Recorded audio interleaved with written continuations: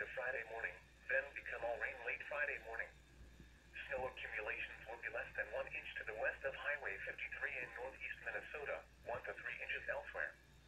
There will also be some light ice accumulations, but generally less than 5 hundredths of an inch.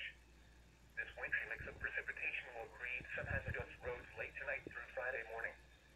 Allow extra time for the Friday morning commute.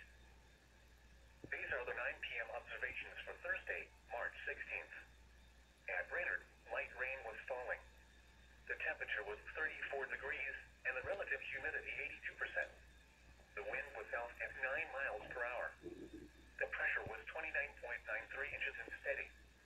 Around the area, drizzle was falling with a temperature of 34 at Staples and 36 at Pine River. Mixed precipitation was falling with a temperature of 34 at Longville, 36 at Grand Rapids, and 36 at Aitkin. At Wadena, it was mostly cloudy with a temperature of 34.